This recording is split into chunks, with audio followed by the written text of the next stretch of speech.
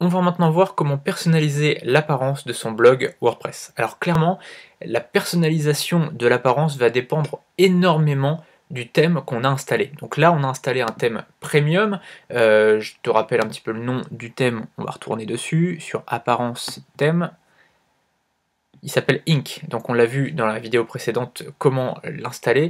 Et maintenant, on va voir comment euh, finalement le personnaliser. Alors, ça va être assez simple puisque sur ce thème, il n'y a finalement pas grand chose à personnaliser. De base, tu vois qu'il est plutôt joli. Là, c'est donc la page d'accueil avec les différents articles. Et puis quand tu cliques dessus, tu vois un peu donc le titre et ensuite l'article qui est affiché ici. Donc tu vois là c'est un article bidon, hein, c'est juste pour qu'on voit un peu l'exemple.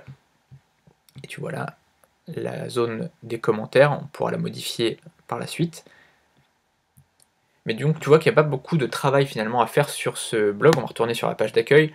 Tu vois qu'il n'y a pas grand chose à faire au niveau euh, graphisme, c'est plutôt joli déjà de base, donc il n'y a pas grand chose à ajouter. Mais on va voir donc où ça se trouve. Donc on va aller sur apparence, on y est déjà, et sur personnaliser.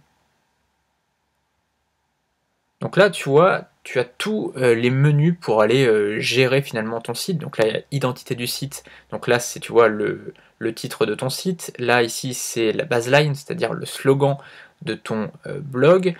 Ensuite, tu as l'icône du site. Alors ça, on verra comment en mettre un. Donc l'icône du site, c'est ce qui va s'afficher, en fait, c'est ce qu'on appelle le favicon.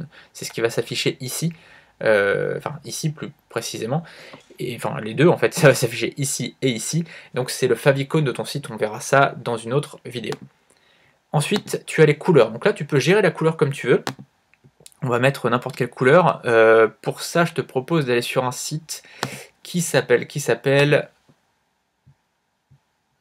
pardon, qui s'appelle Flatui Color Picker. Donc tu vois, sur ce site, en fait, tu as des dizaines et des dizaines de couleurs. Tu vois, on va aller sur All et tu as toutes les couleurs qui sont un peu flat design, un peu euh, à la mode on va dire, et donc tu vas pouvoir copier-coller tout simplement le code couleur pour ce que tu veux. Donc là par exemple, je sais pas, on va dire une bêtise, mais on, veut par exemple, euh, tac tac tac, on veut un logo, on est sur la laine et tout, on va, je sais pas, on va, vouloir un petit bleu, un petit rouge euh, flamingo par exemple, peu importe.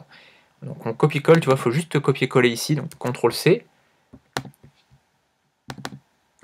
et CTRL V ici. Donc là tu vois, alors je sais pas où est-ce qu'on va en trouver, tu vois, il y a du rouge ici, on va en trouver certains endroits, à certains endroits du blog, tout ce qui est lien et tout ça, ça va être mis en rouge du coup.